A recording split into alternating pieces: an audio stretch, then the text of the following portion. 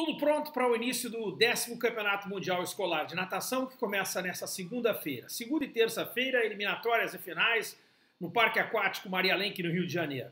Aliás, Parque Aquático Maria Lenk, que está uma repaginada incrível, belo trabalho da CBDE, que fez algo que melhor até que, que o COB fez nos Jogos Olímpicos do Rio 2016. Lembra que uma das grandes reclamações na época foi de que a apresentação das instalações não estava adequada, pois o CBD deu uma caprichada legal, o parque aquático está realmente muito bonito. Competição são dois dias, eliminatórias a partir das 9 da manhã, finais a partir das 15h30 da tarde. Total são 44 provas, e na verdade são quatro competições diferentes, eu até explico. Uma delas é a competições entre seleções, é, seis nadadores no masculino, seis nadadores no feminino. Nós vamos ter um campeão masculino e um campeão feminino.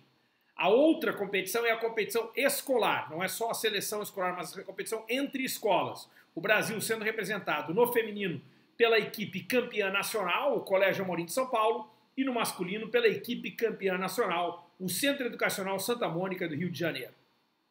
O Brasil tem equipe completa, 24 nadadores, e olha, uma equipe muito qualificada, acredito, com grandes resultados.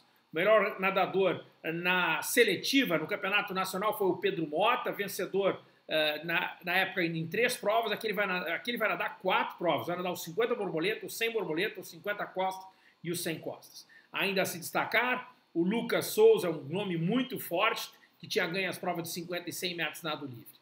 Na, entre as disputas escolares, o Colégio Amorim tem uma equipe muito uh, uh, equilibrada, talvez até grande favorito até para ganhar o título no feminino. No masculino, Santa Mônica tem alguns expoentes que brigam não só por medalhas, mas também por medalhas de ouro nas provas.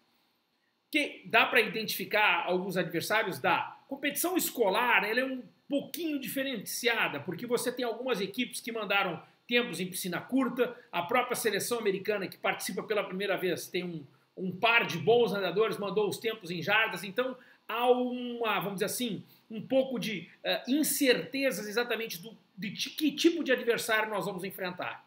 De qualquer forma, e eu acho que vale destacar isso, é uma nova era para o esporte nacional. O esporte educacional passa a ter um pouco mais de atenção. A, graças à MP 841 aprovada no ano passado, a garantia de recursos para a CBDE dá a certeza de que a CBDE vai promover inúmeras competições nacionais e internacionais, ou seja, a natação escolar no Brasil deve crescer muito neste próximo ciclo.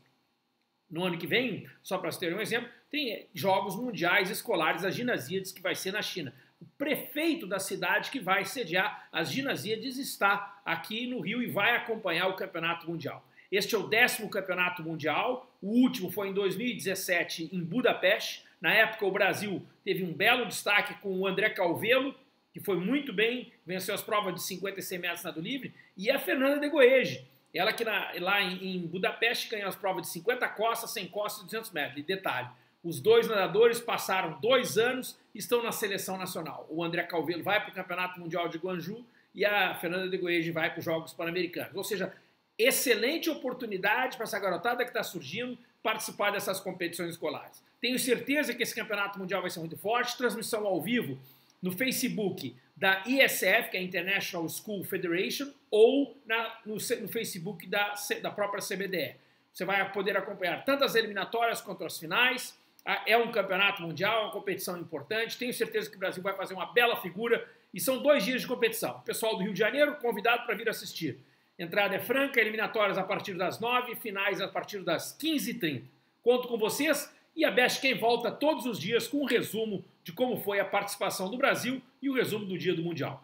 A gente se vê amanhã. Até lá!